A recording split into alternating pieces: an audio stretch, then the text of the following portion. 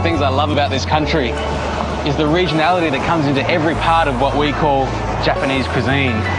You can go on a ferry across a channel or from one prefecture to another, and it's completely different. We're on our way to Tohoku now, which is one of the more agricultural areas of Japan, and the cuisine there is the cuisine of the people. This time, I'll be catching up with the family who caught the million dollar fish Absolutely freezing, and there's water spraying in my face every turn. And exploring the onsen culture of the north. Feels like the most natural thing in the world. There'll be an attempt at a record Losing the will to live. and a tale of resilience after the Japan tsunami. And over there, there's still the remnants of the logs where Kono-san built a fire to keep everyone warm.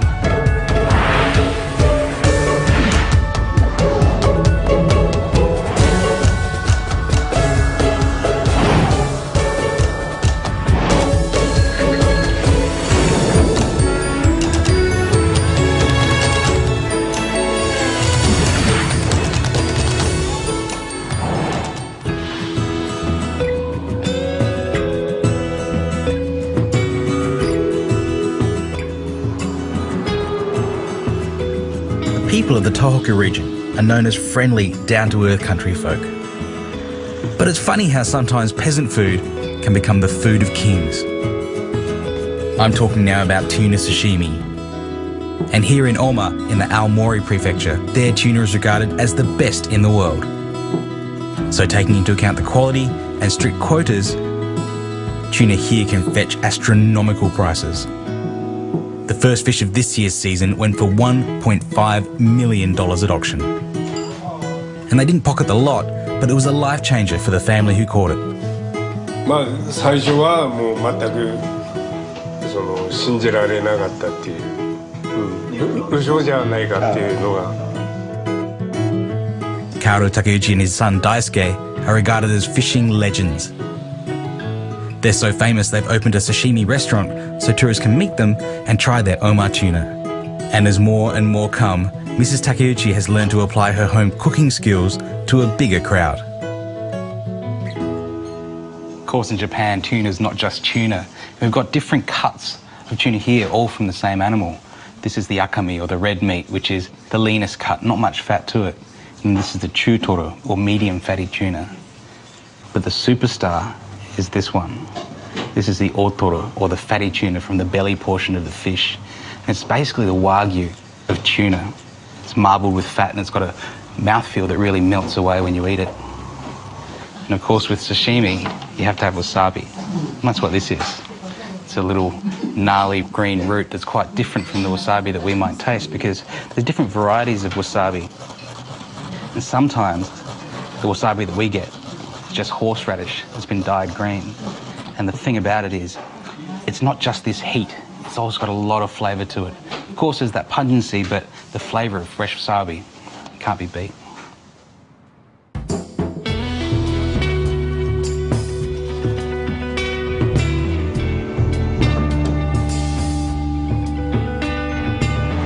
On the boat, they caught the most expensive fish in the history of the world. It's absolutely freezing, and there's water spraying in my face every turn. どどうやっていい漁師になりますかああいい漁師になるにはあのもう集集中力が一番ですうん魚をマグロを取るっていう気持ちがマグロに伝われば取れます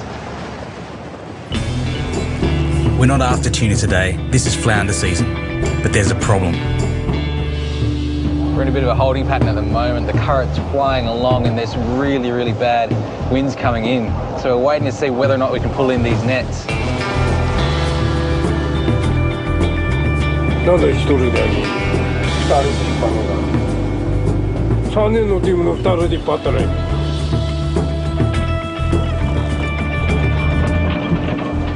Even though they risk losing their nets, they go for it.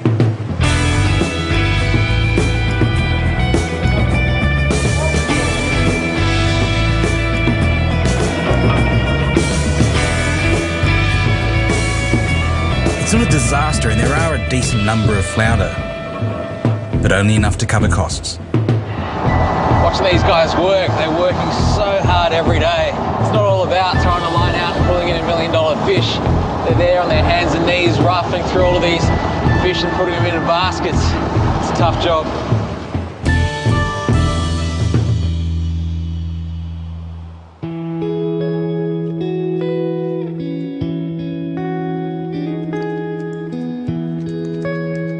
Takeuchi-san's given me some of his tuna to cook, and so I'm going to do it in a very Japanese way, teriyaki tuna jaw. Like most things in Japanese cuisine, teriyaki is very simple. Some soy sauce, 250 mils, 200 mils of mirin, and then sake, another 200 mils of that. About 80 grams of sugar, and you can vary the amount of sugar depending on your taste. And I'll heat that only until the sugar's dissolved. We don't want to bring it to the boil or anything like that because those sugars then will start to caramelize. We want that to happen on the fish. It's dissolved now and that's all there is to it. Take it off the heat. Here's the main event, the tuna jaw. Takeuchi-san's family's been fishing for tuna for generations and they never waste a part of it. The jaw in Japanese is called kama. It's this part here of the fish. And the, the word kama also means sickle or scythe in Japanese. You can see by the shape of it. It's kind of that round sickle shape.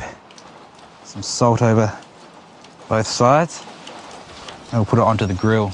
You can see how tough this skin is. It's like leather, so it's completely inedible.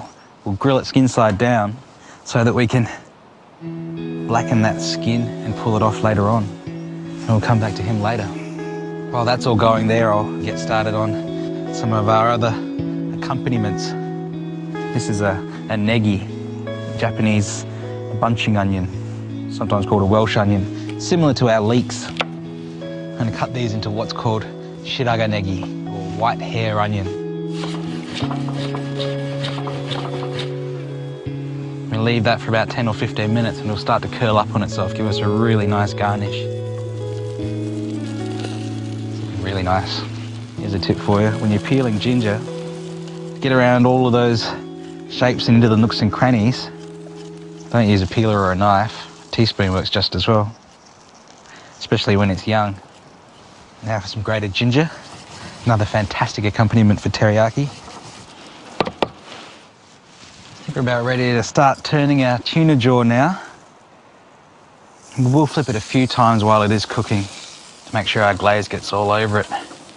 You can see how blackened that skin's getting. We're getting close to having our jaw cooked so we can start to brush it with our teriyaki glaze. Using this binchotan is wonderful because it burns very hot and very clean. That smoke that you're seeing is not smoke coming off charcoal, it's the smoke of, of the fat that's dripping down off this tuna. So the flavour you get isn't like a burnt barbecue, it's just smoky tuna. This is where food for me starts to get very exciting. Our tuna jaw is lovely and glazed now, so we can pull it off our grill. It really does smell and look amazing. A few of our garnishes. It's a shiso leaf, also called perilla. Some people say it's like a Japanese mint or a Japanese basil. It does have a smell similar to a peppery mint. Some of our grated ginger as well. Just pop that on top of our shiso leaf. And you can see our shiraga negi. See how much that's curled. Drain the water off that. Give it a good shake. And plonk them on top of our tuna jaw. And there we are, teriyaki tuna jaw.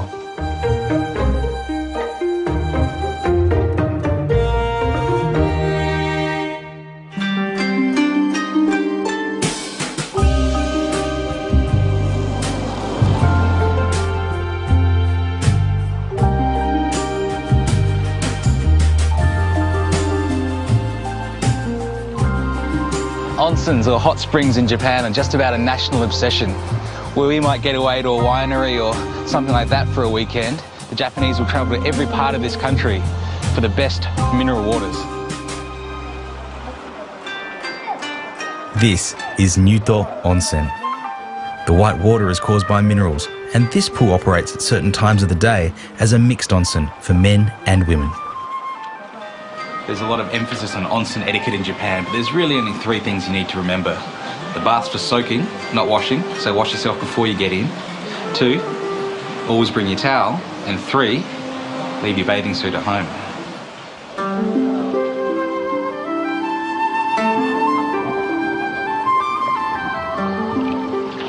When I first came to Japan, the thought of getting naked with a bunch of strangers and taking a bath was a bit weird, but after a while, when you've got that towel on your head and the hot water's soaking all your bones and aches away, feels like the most natural thing in the world.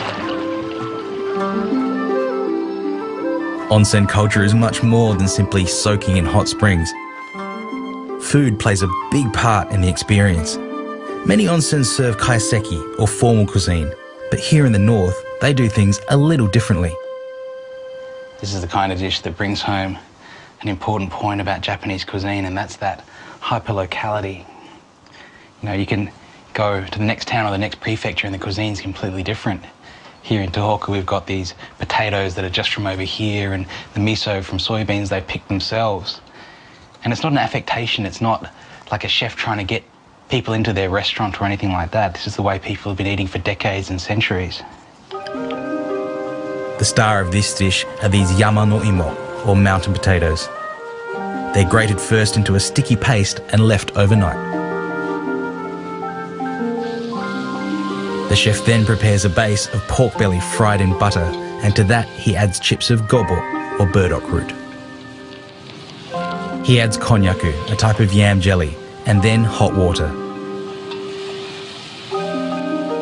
After skimming, a miso paste is gradually added through a sieve. Then mirin. And now those mountain potatoes are skillfully squeezed into balls and placed in the pot.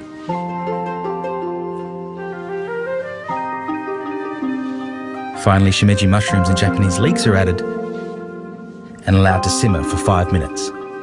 The nabe is garnished with Japanese parsley and served piping hot.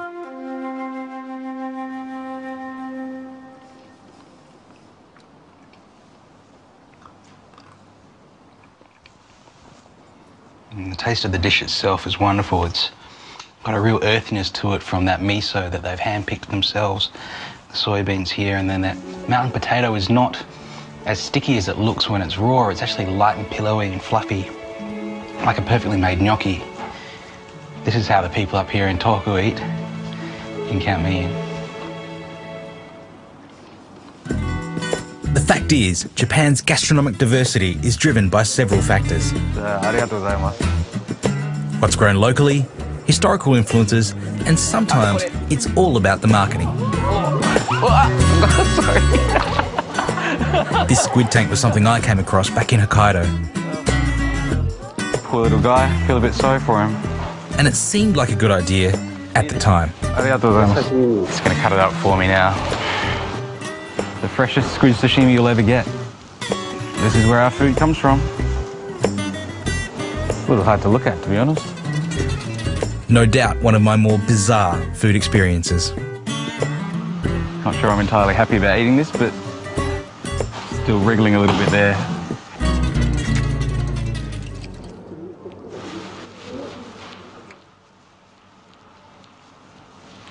It's fresh. It's pretty good. But this next one is for the more competitive among us. I've travelled to Morioka, the capital of Iwate Prefecture, to a restaurant famous for gluttony. In Japan, you're never far from a unique noodle experience, and this is something I've never tried before. Part lunch, part death match. I've got a bunch of condiments and toppings here, and Yamaguchi-san here is the toughest waitress in the place, and she's got quite a few bowls of noodles for me. Let's get started. This is wanko soba, and the idea is to eat as many bowls of soba noodles as possible record is held by a Japanese woman who ate over 500 bowls in one sitting. Oh, slow down. My waitress Yamagishi-san is more like a drill sergeant, pushing and pushing for me to eat more and faster. Try a bit of this spicy condiment here. Well, that was a good idea. Now my mouth's burning as well as being assaulted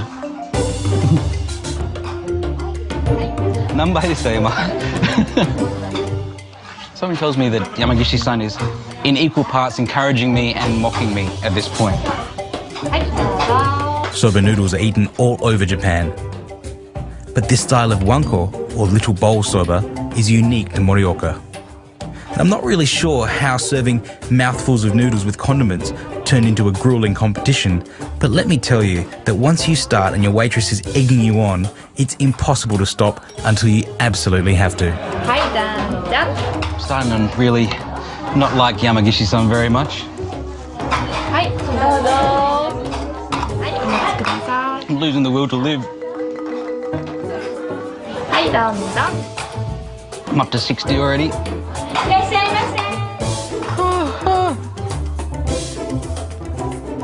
No, you're just laughing at me. Well, oh, you're not getting a tip.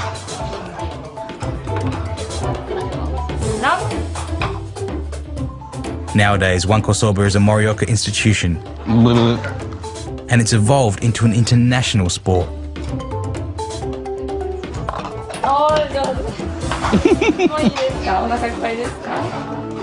Not get bited.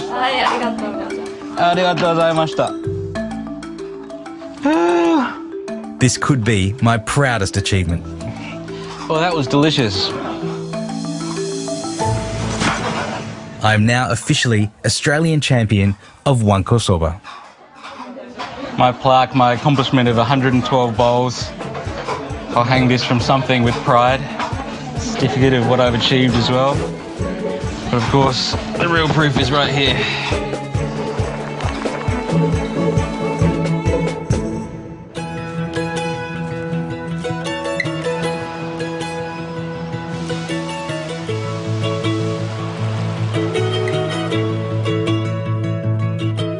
Manga or comic books in Japan are such an important part of the culture, and this one's one of my favourites.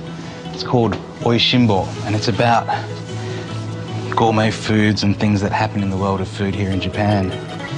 This story is a particularly special one. It's about the, the Kono family who've been making soy sauce for over 200 years. Hirofumi and Kazuyoshi Kono know soy sauce.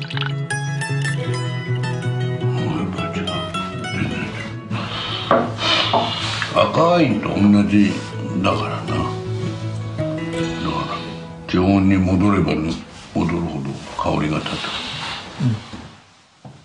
In fact, their sauce was judged Japan's best in 2010. But then in 2011, the town of Rikuzen Takata was destroyed in the Japanese tsunami. And so too was their factory. の津波の前はあの工場はここ、そうですはいここに200年前から続く蔵がある For years, the Kono family had trained their staff to prepare for a tsunami by racing up the hill to this local shrine. When a 13 metre wall of water hit Rikuzen Takata, almost half the population died, and the entire town was destroyed. ここですね However, because of their training, all but one of Kono-san's staff survived. こんなに寒かったんですかそうですね寒くて雪が降ってきましたね One of the things that's really you don't get from, from TV is that you watch the footage on the news, you don't realise how cold it is now. And it was the same time of year that the tsunami came. In fact, Kono-san just said the snow was falling. And over there, there's still the remnants of the logs where Kono-san built a fire to keep everyone warm. And he was telling me before that all he could think was, how is he going to feed his employees? あの英語でそのファミリーってありますけどファミリービジネスってありますけどもともとやはり八木沢商店は一緒にその田んぼでお米を作ったり畑で野菜を作ったり原料の大豆を作ったり一緒に社員と一緒にやってお昼ご飯も一緒に食べてたんですねそういう関係の中から人間の絆ができてきてそれが、えー、震災後そういう、えー、つながりがどんどんどんどん広がっていって今日本全国から、えー、ご支援をいただきながら再建をしている途中です。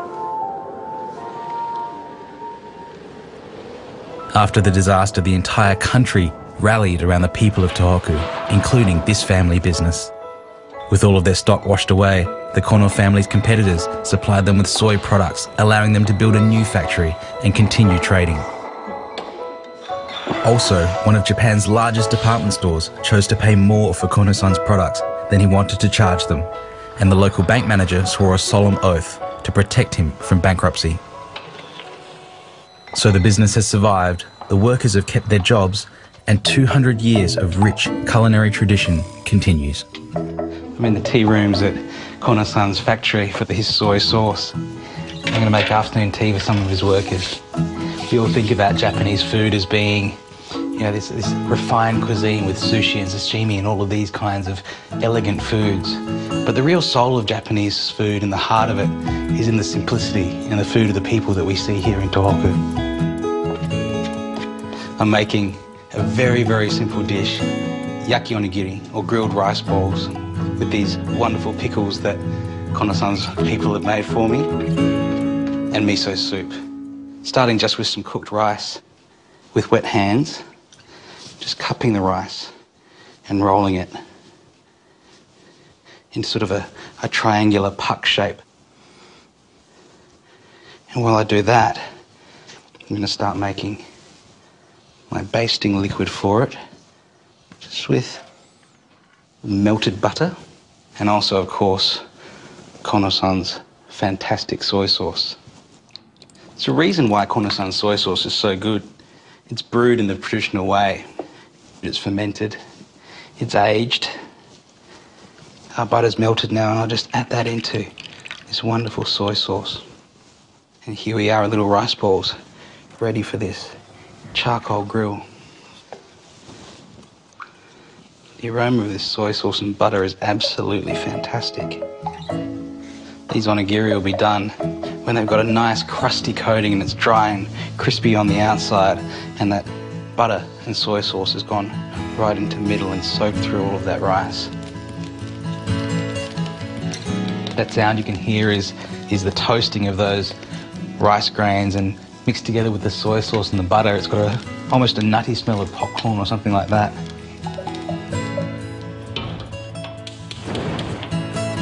Miso soup is also a part of today's lunch. And to make a good miso soup, you must start with hot dashi stock.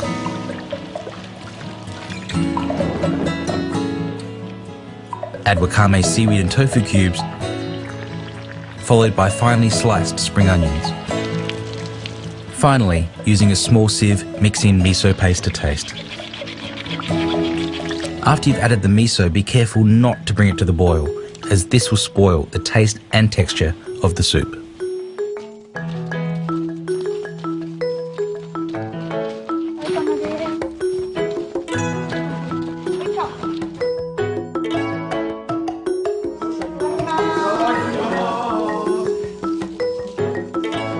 You really can't get anything more authentically Japanese than this meal. It's simple and it's pure, and it's what Japanese workers have been eating for hundreds of years.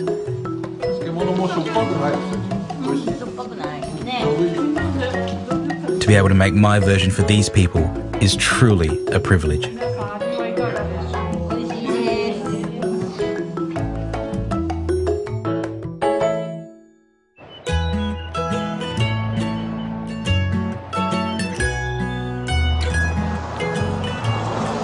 I'm heading back up into the hills to show you a rice dish unique to Akita Prefecture.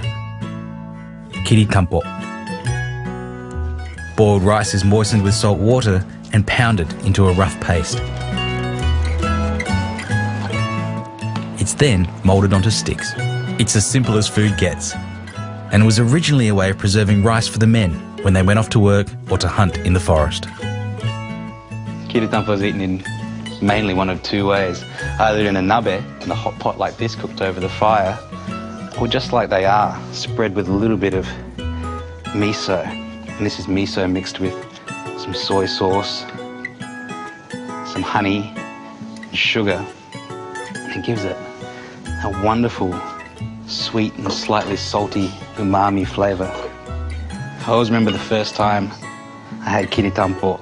I just moved to Tokyo, and a friend of mine who was from the Akita region, I was helping her move house. I remember we'd been moving all day and it was hot and we were exhausted, and then all of a sudden at five o'clock, on the dot to the new house, turned up some kiritampo and a slab of cold beer. And I remember thinking, what a country. Next time, I travel to my wife's hometown, Kanazawa. It's in a region famous for great rice, seafood, and sake. As it ages, it'll become rounder and, and brighter and softer. I visit my favourite sushi master It's just delicious. and venture into my mother in law's kitchen. 故事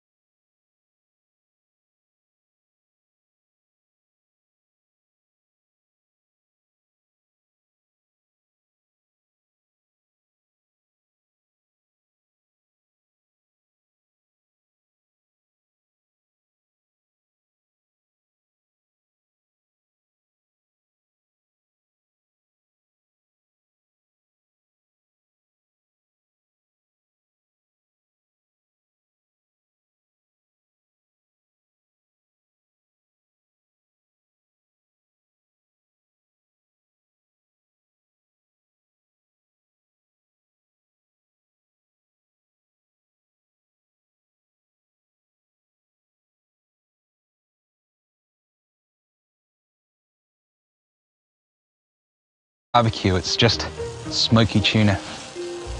This is where food for me starts to get very exciting. Our tuna jaw is lovely and glazed now, so we can pull it off our grill.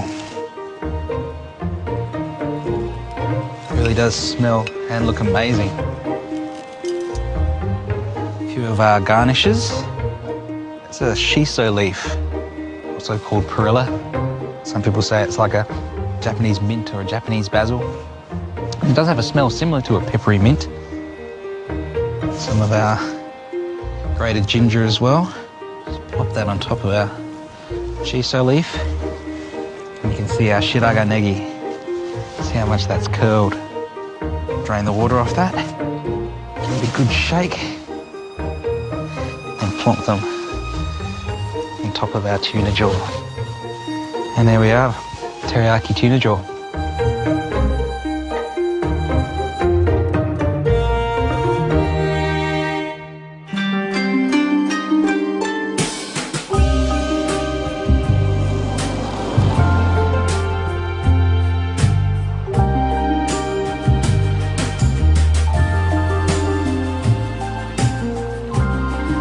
Onsens or hot springs in Japan are just about a national obsession.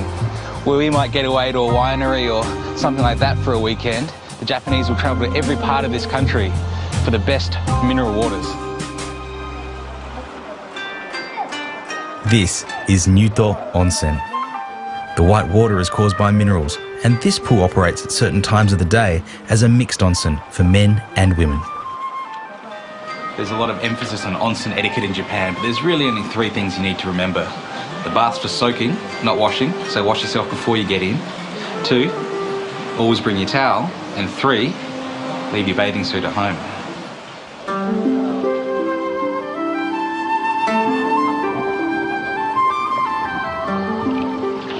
When I first came to Japan, the thought of getting naked with a bunch of strangers and taking a bath was a bit weird, but after a while, when you've got that towel on your head and the hot water's soaking all your bones and aches away, feels like the most natural thing in the world. Onsen culture is much more than simply soaking in hot springs. Food plays a big part in the experience. Many onsens serve kaiseki or formal cuisine, but here in the north, they do things a little differently. This is the kind of dish that brings home an important point about Japanese cuisine, and that's that hyperlocality, or the fatty tuna from the belly portion of the fish. And it's basically the wagyu of tuna. It's marbled with fat and it's got a mouthfeel that really melts away when you eat it. And of course, with sashimi, you have to have wasabi. And that's what this is. It's a little gnarly green root that's quite different from the wasabi that we might taste because there's different varieties of wasabi. And sometimes the wasabi that we get is just horseradish that's been dyed green. And the thing about it is, it's not just this heat, it's also got a lot of flavour to it. Of course, there's that pungency, but the flavour of fresh wasabi can't be beat.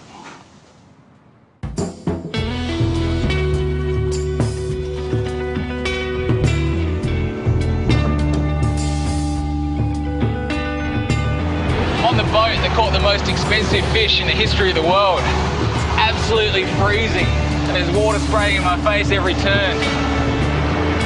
どどうやっていい漁師になりますかああいい漁師になるにはあのもう集集中力が一番ですうん魚をマグロを取るっていう気持ちがマグロに伝われば取れます We're not after tuna today, this is flounder season. But there's a problem. We're in a bit of a holding pattern at the moment. The It's flying along and there's really, really bad winds coming in. So we're waiting to see whether or not we can pull in these nets.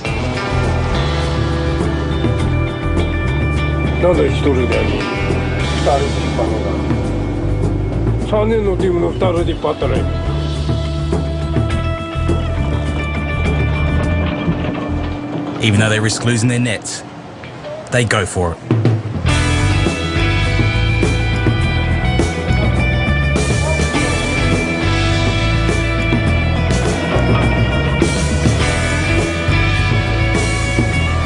It's not a disaster, and there are a decent number of flounder, but only enough to cover costs. Watching these guys work, they're working so hard every day. It's not all about throwing a line out and pulling in a million dollar fish. They're there on their hands and knees, roughing through all of these fish and putting them into baskets. It's a tough job.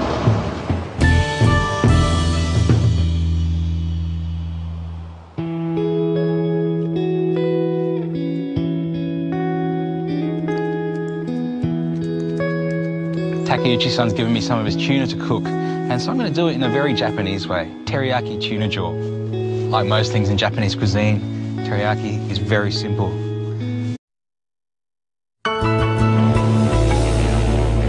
One of the things I love about this country is the regionality that comes into every part of what we call Japanese cuisine. You can go on a ferry across a channel or from one prefecture to another, and it's completely different.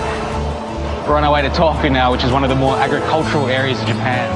And the cuisine there is the cuisine of the people. This time, I'll be catching up with the family who caught the million dollar fish Absolutely freezing, and there's water spraying in my face every turn. and exploring the onsen culture of the north. Feels like the most natural thing in the world. There'll be an attempt at a record Losing the will to live. and a tale of resilience after the Japan tsunami. And over there, there's still the remnants of the logs where Kono-san built a fire to keep everyone warm.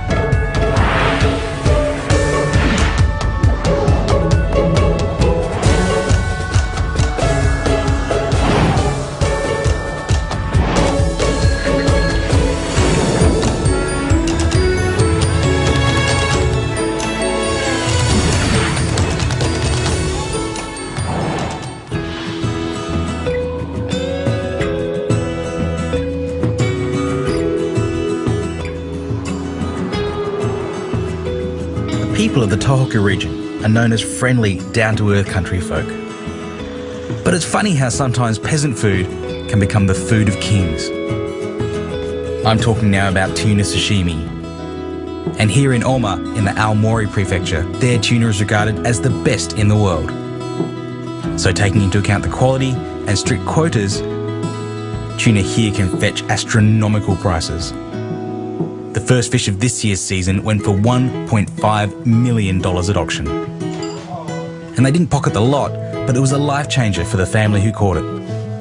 まあ最初はもう全くその信じられなかったっていう、うん、嘘じゃないかっていうのが Kaoru Takeuchi and his son Daisuke are regarded as fishing legends.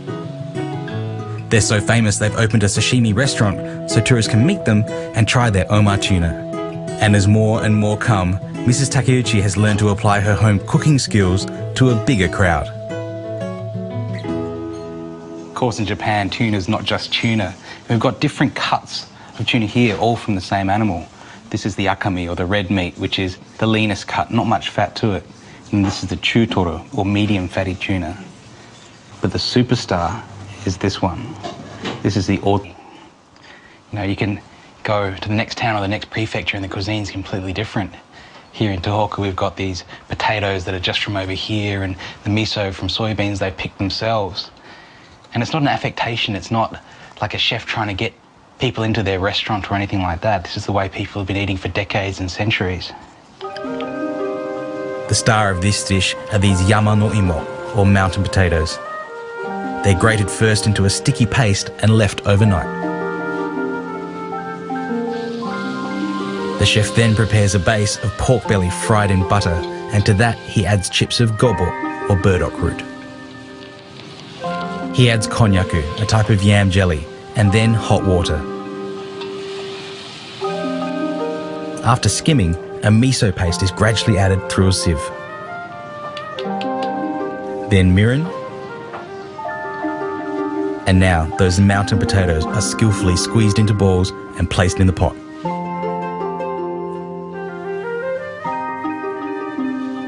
Finally, shimeji mushrooms and Japanese leeks are added and allowed to simmer for five minutes. The nabe is garnished with Japanese parsley and served piping hot.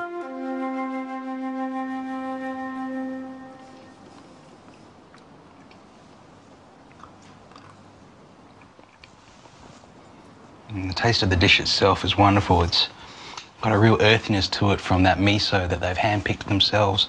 The soybeans here, and then that mountain potato is not as sticky as it looks when it's raw. It's actually light and pillowy and fluffy, like a perfectly made gnocchi. This is how the people up here in Tohoku eat. You can count me in. The fact is, Japan's gastronomic diversity is driven by several factors. What's grown locally, historical influences, and sometimes it's all about the marketing. this squid tank was something I came across back in Hokkaido. Poor little guy, feel a bit sorry for him. And it seemed like a good idea at the time. It's gonna cut it up for me now. The freshest squid sashimi you'll ever get. This is where our food comes from. A little hard to look at, to be honest. No doubt one of my more bizarre food experiences. Not sure I'm entirely happy about eating this, but still wriggling a little bit there.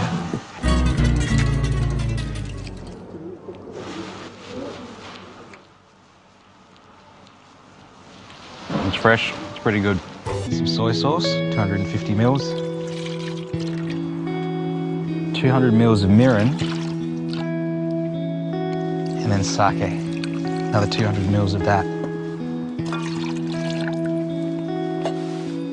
About 80 grams of sugar. And you can vary the amount of sugar depending on your taste. And I'll heat that only until the sugar's dissolved. We don't want to bring it to the boil or anything like that because those sugars then will start to caramelize. We want that to happen on the fish. It's dissolved now and that's all there is to it. Take it off the heat. Here's the main event, the tuna jaw. Takeuchi-san's family's been fishing for tuna for generations and they never waste a part of it. The jaw in Japanese is called kama. It's this part here of the fish and the, the word kama also means sickle or scythe in Japanese. You can see by the shape of it. It's kind of that round sickle shape. Some salt over both sides. And we'll put it onto the grill. You can see how tough this skin is. It's like leather, so it's completely inedible. We'll grill it skin side down so that we can blacken that skin and pull it off later on. And we'll come back to him later. While that's all going there, I'll get started on some of our other accompaniments. This is a, a negi, Japanese bunching onion, sometimes called a Welsh onion, similar to our leeks. I'm to cut these into what's called shiraga negi, or white hair onion. We leave that for about 10 or 15 minutes and it'll start to curl up on itself, give us a really nice garnish. Really nice. Here's a tip for you. When you're peeling ginger, get around all of those shapes and into the nooks and crannies. Don't use a peeler or a knife. Teaspoon works just as well, especially when it's young. Now for some grated ginger. Another fantastic accompaniment for teriyaki. I think we're about ready to start turning our tuna jaw now. We'll flip it a few times while it is cooking to make sure our glaze gets all over it. You can see how blackened that skin's getting. We're getting close to having our jaw cooked so we can start to brush it with our teriyaki glaze. Using this binchotan is wonderful because it burns very hot and very clean. That smoke that you're seeing is not smoke coming off charcoal, it's the smoke of, of the fat that's dripping down off this tuna. So the flavour you get isn't like a burnt butter. One of the things I love about this country is the regionality that comes into every part of what we call Japanese cuisine. You can go on a ferry across a channel or from one prefecture to another, and it's completely different. We're on our way to Tohoku now, which is one of the more agricultural areas of Japan, and the cuisine there is the cuisine of the people. This time, I'll be catching up with a family who caught the million dollar fish. Absolutely freezing and there's water spraying in my face every turn. And exploring the onsen culture of the north. Feels like the most natural thing in the world. There'll be an attempt at a record. Losing the will to live. And a tale of resilience after the Japan tsunami. And over there, there's still the remnants of the logs where Kono-san built a fire to keep everyone warm.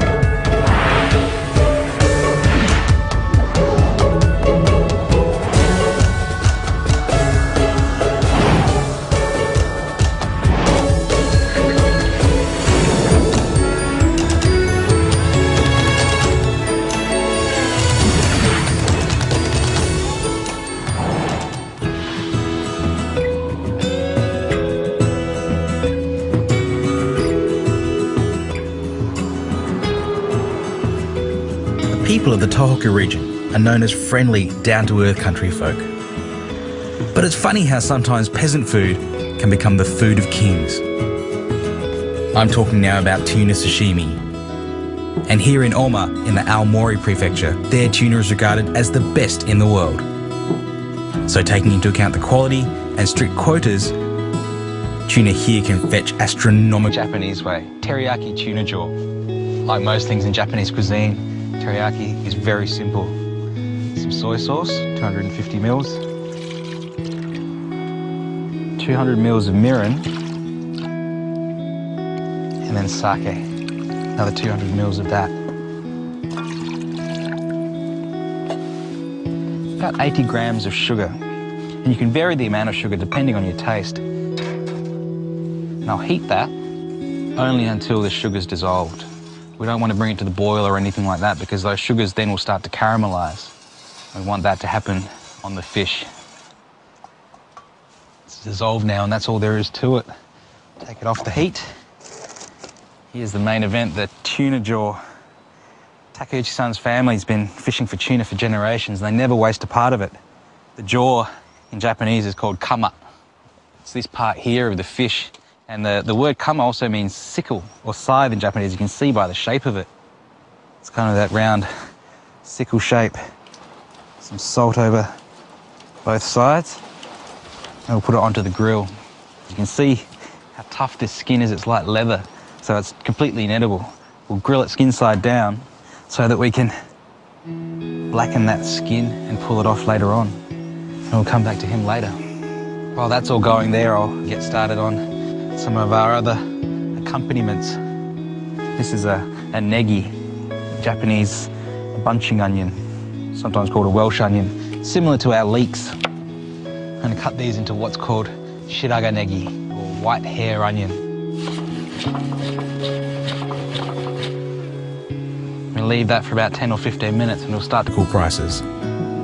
The first fish of this year's season went for $1.5 million at auction and they didn't pocket the lot, but it was a life changer for the family who caught it. まあ最初はもう全くその信じられなかったっていう、うん、無償じゃないかっていうのが。Kaoru Takeuchi and his son Daisuke are regarded as fishing legends. They're so famous they've opened a sashimi restaurant so tourists can meet them and try their Oma tuna. And as more and more come, Mrs. Takeuchi has learned to apply her home cooking skills to a bigger crowd. Of course, in Japan, tuna is not just tuna. We've got different cuts of tuna here, all from the same animal. This is the akami, or the red meat, which is the leanest cut, not much fat to it. And this is the chutoro, or medium fatty tuna. But the superstar is this one. This is the otoro, or the fatty tuna from the belly portion of the fish. And it's basically the wagyu of tuna. It's marbled with fat and it's got a mouthfeel that really melts away when you eat it. And of course, with sashimi, you have to have wasabi. And that's what this is.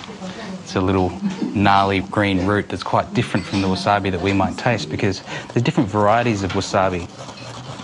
And sometimes the wasabi that we get is just horseradish that's been dyed green.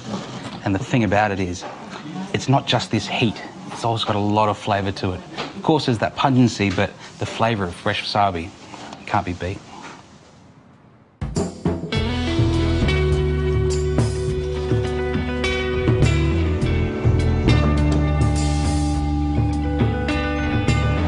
On the boat, they caught the most expensive fish. Curl up on itself, give us a really nice garnish. Really nice. Here's a tip for you. When you're peeling ginger, get around all of those shapes into the nooks and crannies don't use a peeler or a knife. A teaspoon works just as well. especially when it's young.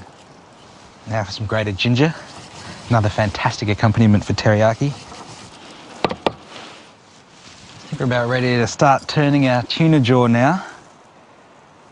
We'll flip it a few times while it is cooking to make sure our glaze gets all over it. You can see how blackened that skin's getting. We're getting close to having our jaw cooked so we can start to brush it with our teriyaki glaze. Using this binchotan is wonderful because it burns very hot and very clean. That smoke that you're seeing is not smoke coming off charcoal, it's the smoke of, of the fat that's dripping down off this tuna. So the flavour you get isn't like a burnt barbecue, it's just smoky tuna. This is where food for me starts to get very exciting. Our tuna jaw is lovely and glazed now, so we can pull it off our grill. It really does smell and look amazing. A few of our garnishes. It's a shiso leaf, also called perilla. Some people say it's like a Japanese mint or a Japanese basil. It does have a smell similar to a peppery mint Some of our grated ginger as well. Just pop that on top of our shiso leaf. And you can see our shiraga negi. It's in the history of the world. It's absolutely freezing, and there's water spraying in my face every turn. どどうやっていい漁師になりますかああいい漁師になるにはあのもう集集中力が一番ですうん 魚をマグロを取るっていう気持ちがマグロに伝われば取れます We're not after tuna today. This is flounder season. But there's a problem. We're in a bit of a holding pattern at the moment. The current's flying along and there's really, really bad winds coming in. So we're waiting to see whether or not we can pull in these nets. なぜ一人だに2人で3人のチームの2人で引っ張ったね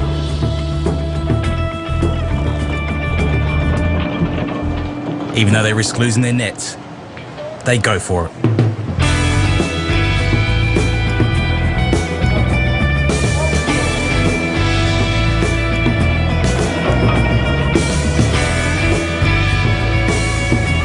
It's not a disaster, and there are a decent number of flounder but only enough to cover costs.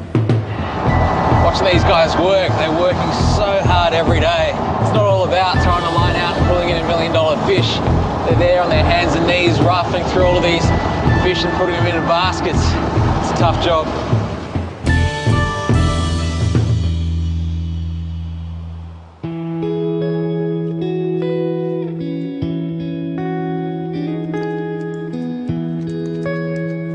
Takeuchi-san's given me some of his tuna to cook, and so I'm going to do it in a very